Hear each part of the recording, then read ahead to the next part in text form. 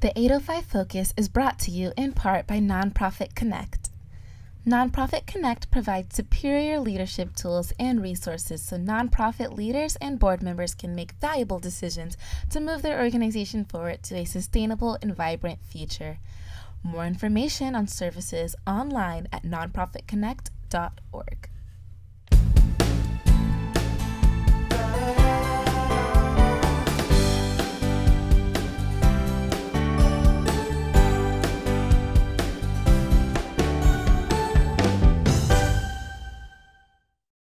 Welcome to 805 Focus. I'm Dr. Cynder Sinclair with Nonprofit Kinect, and we will be bringing you the latest on your favorite nonprofits. So get ready to be inspired. Our special guest today is Nadya Seal Faith, and Nadya is from the Santa Barbara Zoo. Welcome, Nadya. Hi, thank you. Happy to be here. Oh gosh, I'm so eager to hear what you have to tell us. Now, tell me your um, department at the zoo. So I have the privilege of working with the Santa Barbara Zoo's Conservation and Science Department, and I am the ah. Conservation and Science Associate. So that basically just means that I help to facilitate the zoo's involvement in our local conservation programs. Okay, well, I want to hear all about that. and you know, it's funny because when when people ask me my title, I get I get a variety of, of answers, but or at least responses. Uh-huh. Um, but usually there's kind of a big question mark, like conservation and science associate. So sometimes, depending on how much time I have, sometimes yeah. I'll just say I'm a biologist because people mm. can relate to that. Okay, okay. Um, but what I essentially do is I help to connect the zoo to our local conservation programs, and I love the Santa Barbara Zoo because the the zoo and you know, in all of its wisdom, has chosen to really focus its effort in our local conservation programs. Because I don't know if you knew this, but California is actually a biodiversity hotspot. It's one of 25 in the world, which means that our collection of local flora and fauna is um, so pretty much endemic to our area and just not found anywhere else. No, I and didn't so, know that. Yeah, especially the the floristic province. So specifically, the California floristic province is, uh, you know, just highly concentrated in rich biodiversity. Um, you find plants like on the Channel Islands that you just uh-huh. can't find oh. anywhere in mm. the world. And so we at the Santa Barbara Zoo said, you know, if we're going to focus on conservation, why not just focus on the programs within our own backyard? And so we work with federal, state agencies, other nonprofits, mm-hmm. and we're able to kind of utilize our own staff expertise. I mean, we have experts in the field. We have experts that, you know, work with uh, wildlife and mm-hmm. endangered species on a regular day just as a part of their jobs and keeping. You know, we have people that are on our facilities staff that you know, are experts in, in building, you know, different enclosures for mm. wildlife, and so we can work with these local programs and um, and basically just really help them out. And so my, my job is basically to connect the zoo to all of those different ah. organizations. You know, I'm beginning to understand a little teeny bit about how complex the zoo really is all these things happening behind the scenes that I bet a lot of people, myself included, have no idea about.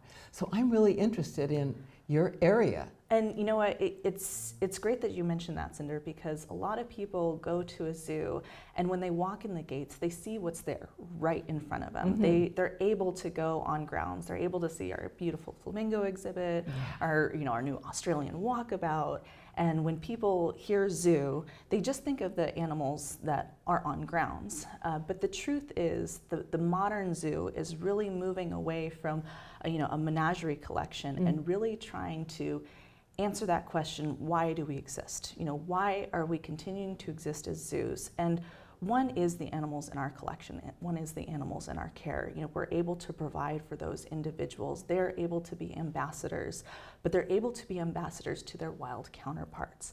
And ah. our area of conservation has been helping answer that question of why is the modern zoo and what is the modern zoo? And in fact, we have incorporated conservation within our mission statement because we believe so so much into it. And so, what we have found that we're able to do is we're able to connect um, to these other agencies. We're able to connect to Fish and Wildlife mm-hmm. Service. We're able to connect to the National Park Service. We're able to connect to um, other local nonprofits um, like the Nature Conservancy and oh. Channel Island Restoration oh, oh, yeah. and, and, many, many, many others. I could probably spend all day just listing off our, our, our partners. Um, but we can give them our, our expertise. For example, you know, one of our biggest programs that we've been involved with is California condors. And oh, right. Well, we have condors on exhibit. A lot of our time and effort actually goes into helping out the Fish and Wildlife Service with the Southern California mm. condor population. Mm. Uh, we also help the National Park Service with their red-legged frog work, and we hmm. help the U.S. Forest Service survey, survey for arroyo toads. So even though we don't have red-legged frogs and arroyo toads in our collections on grounds, mm-hmm. we actually do a lot for them. Hmm. The red-legged frog, one of my favorite facts too, is that it's our state amphibian. Oh. So I didn't know if you knew that. I don't think I did. and actually, a little, a little fun story here is that um, it only became our state amphibian because an elementary school actually went up to Sacramento to petition oh, that they gosh. wanted the red-legged frog as the state amphibian, and Sacramento listened apparently the Sacramento will listen to an elementary school when they want the red-legged oh, frog. So. Wait, an amphibian. So did we have a different amphibian before the red leg? That's a really good question. I know that the red-legged frog is our amphibian now. So. I wonder if most states, or yeah, I wonder if most states have a uh, official amphibian. I'm sure that there's some. I'm sure that there's some that have official amphibians, but they're probably not as cool as the red-legged yeah, frog. Right. I'm sure. which None is the largest cool. uh, largest native frog in the, yeah. in California. wow. So um, conservation. That is just. Oh, I wanted to ask you. So you folks are part of the um, alliance of all the different museums and yeah. things that are good. And so and so you have a special um, climate project. Tell me about that. Yeah, so uh, we're working towards that um, the climate project, and really this is gonna this has fallen a little bit more under our educational oh, umbrella. Okay. Okay. Um, and you know, our education department is doing a lot of great work incorporating that into their curriculums, and we're able to work collaboratively with them because we're able to kind of focus on the main conservation programs that, that we're working with, you know, mm-hmm. like condors, like island foxes, like yeah, red-legged yeah, frogs, yeah. Um, like otters, plovers, western monarchs. Those are kind of our big six conservation programs. And we're able to look at the ecosystems and habitats. And they, they have a big variety. I mean, if you think about where California condors range, they're they actually really like going over to the ranches and the dairy farms and, you know, circling around seeing what might be available for them to eat. but you think about the inland valley, you think about that breadbasket yeah. of California, all the way over to the, the Channel Islands, and where, where sea otters play a niche too within the, the national marine sanctuaries. And so, you know, all of those different ecosystems require different actions that can help combat, you know, climate change. And so we can focus our education and our curriculum around those species and then be able to talk about climate change and you know bring out that message so here's the california condor this is why it's an amazing species and this is what you can do and those mm. individual mm. actions can help to to push forward the climate change yeah. uh, you know message and mission that is great so once again i am just amazed at all of the sort of intricate science that's behind, oh, I'm taking my family to the zoo. Oh, honey, look at that cute um, flamingo over there. Look at that condor over there. And, and, but for, for listeners, for people uh, who visit the zoo to understand what's really behind that, it's so complex. Yeah, I mean, it, there is complexity, uh, absolutely. I mean, every single individual that we have in our care, you know, uh, has a part in conservation. You know, we have conservation tends to focus a little bit more on the threatened and endangered mm. species. Mm-hmm, so you mm-hmm. have both your animals and your plants. You know, we like to be able to focus on those. We don't like to forget the plants. Yeah, right. uh, they, they do play an important part because they're all a part of their, that, that ecosystem. So we do have animals within our collection that um, are in what we called SSPs or species survival programs. Oh.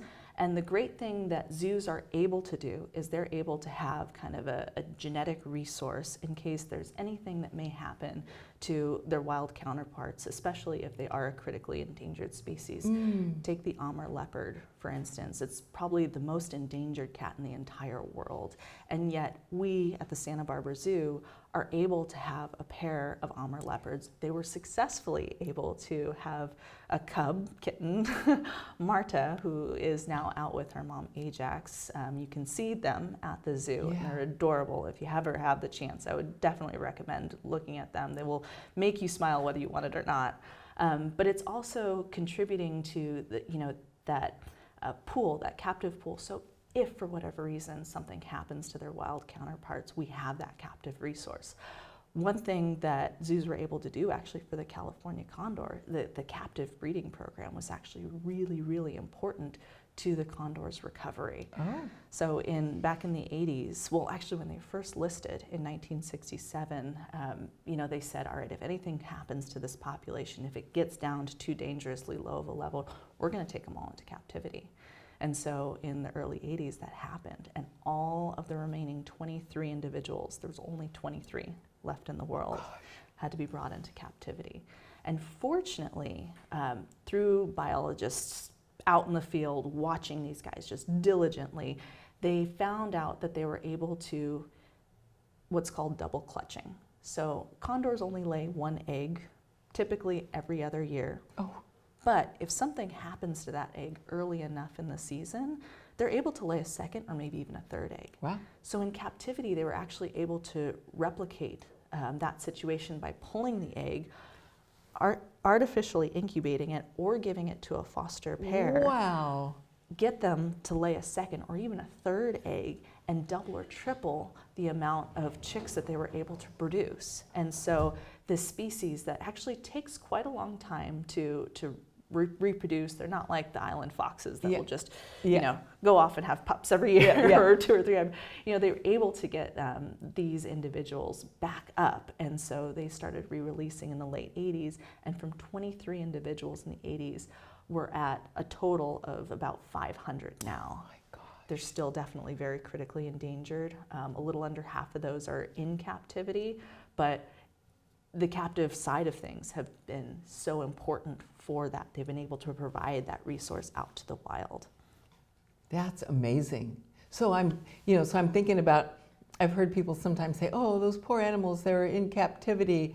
Um, you know, we ought to let them out in the wild." But what they don't realize is all the sort of science that goes behind uh, what, what, what you're doing with those animals. Yeah, yeah, and you know we we provide um, a huge amount of welfare. I mean that is something that our our animal care staff they have been amazing at and part of being at the Santa Barbara Zoo is that we're under this umbrella of the Association of Zoos and Aquariums okay. and we are specifically accredited we're only one of a handful of institutions I believe about 240 236 uh-huh. 7 around there of all of the you know, facilities that hold wild animals in the country, and that's not to say over the world. I mean, there's different accreditation standards um, elsewhere too, um, like EAZA, the European Association of Zoos and mm-hmm. Aquariums. But within here, we have a very specific set of guidelines that guide our welfare, that guide um, everything, so that all of those individuals that you see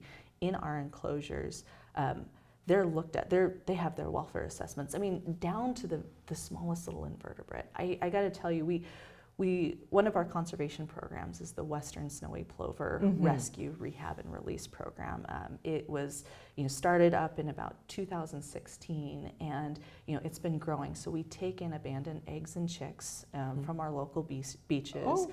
Our fabulous team of animal care experts, they rear, rehab, fledge these chicks, and then we're able to release them into the wild. And they're banded, so we've been able to track them over the years, and we've actually seen that some have gone on to nest. But what I was floored with was that last year we're reviewing our program. We, we got a new building, you know, so that we can ha- house all of this plover care in one area. And one of the keepers brought up the fact that, you know, we, we feed them out little mealworms and other little invertebrates, crickets, and Uh-huh. we try to do it in a way that allows them to learn how to hunt so that they can Yeah. thrive and survive in the wild. And one of the keepers brought up that we need to do invertebrate welfare. So even these animals that were, they're, they're destined to be fed out. but our keepers, our animal care staff are also looking and making sure that they have a good quality of life before they go out Oh and be my fed. gosh. So it's not just you know our, our big charismatic megafauna. Yes, it's yes, down yes. to the smallest invertebrates, and that's the kind of you know care that our welfare team within our zoo and being under that AZA accreditation. You know Yeah. these are the types of people that we have in our zoo. So. So, if I were to go on your website, Mm-hmm. w- would I be able to see some of this information there? Uh, yes, yes. So there is, um, we have a fabulous website, and I have to thank our marketing team for that because they're wonderful. Um, but there is a section on conservation that Oh. describes all of our conservation programs that we that we work with. Oh, so there's like a drop down menu. there is a drop-down menu. Yes. Oh, that sounds great. Yeah. And so people can go in there and find out. They can also, I would imagine, since you're, you're a 501c3, they can go on that website and hit that donate now button. They can, they can, and we, we really appreciate obviously any donations. Uh, we love our members too because Mhm. um, what has been great is when we started, kind of really started our conservation department, uh, we actually um, set aside you know portions of all memberships to be directly donated to conservation. So Oh. I love our members Isn't because our members good? help to, Yeah. to fund you know the work that I do. I'm able to get out into the field. I'm able to use very expensive you know spotting scopes, which we need to. If I'm trying to discern whether that's a sea otter or a sea you know a harbor seal or just a big kelp bid, Yeah. I need a really nice scope to do Yeah, that. yeah. So um, you know we we appreciate anybody that comes on and is able to donate, especially if they're able to become members. Yeah, that's great. And so um, becoming a member, Mm-hmm. and I know you have different levels, um, becoming a member is really important too. And they can do that on the website. Yep, yep, you can. And you know, being a member also gives you a lot of access to, Uh-huh. to benefits. I mean, we have specific members events only We Mhm. have um, you know different times that members are able to come in. Yeah. Um, you know, just different perks, but it also gives back to the zoo. And um, while they're on that, on your website, Mm-hmm. they can probably go and look for volunteer opportunities. I'm sure you have many of those, huh? Yeah, yeah, we do. We have various levels of volunteer Mhm. opportunities, various ways that you can get um, get in and you know really start understanding how a zoo works and how to give back to the zoo. So there's um, volunteer opportunities under our education team. There's volunteer opportunities as being a docent. There's Ah. volunteer opportunities. Actually, I started out as a volunteer with the Oh, Santa did Barbara you? Zoo. Yeah, I, I started out as a um, keeper aide um, on the Hmm. on what they called the upper bird line. So it was the condors, the eagles, and, and everything. And that's how I got my start. Um, we also help to manage volunteers with our partners. Um, you know, we for a long time managed Nest volunteers through the California Condor Hmm. program, and so we're able to also, again, with within my role, able to connect people that are interested in wildlife to people that need help with wildlife. Wow. So a lot can be found on your website. And so if someone wants to volunteer, you give training for that? For whatever they want to volunteer for? Yeah, absolutely. We have a very robust um, volunteer training program. Um, and even if maybe you're a, a student looking to come up, because you know sometimes it's tough to, to get into the wildlife world if you're under 18. We do have you know junior count, counselor opportunities, and um, we also have a teen conservation club, and they've been fabulous. Uh, we've just really started to work with them. They've been able to build um, western plo- western snowy plover exclosures um, Oh. that actually help to protect nests on the beach from predators coming in and getting those eggs, and so that's been great. Uh, they're probably going to help build some bluebird nest boxes on one of our refuge. And so, you know, they, they've been great in helping to give back. They also, you know, were able to create their own awareness day, you know, within our zoo, create um, art, facts and infographics for World Otter Day, and able they're able to connect with their peers uh, on our grounds and able to connect our guests with our conservation mission. That sounds fabulous. So, so we have about a minute left. Is there another message you'd like for our audience to know about the zoo? Conservation?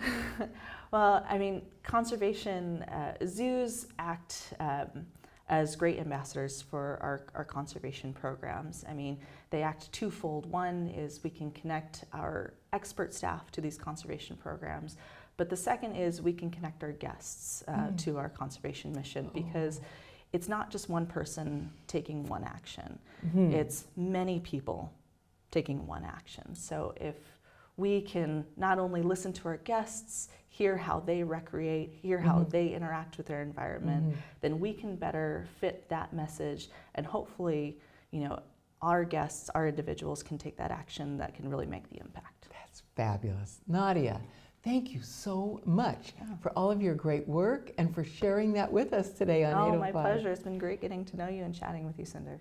Yes, and thank you for joining us on 805 Focus, and we'll see you next time.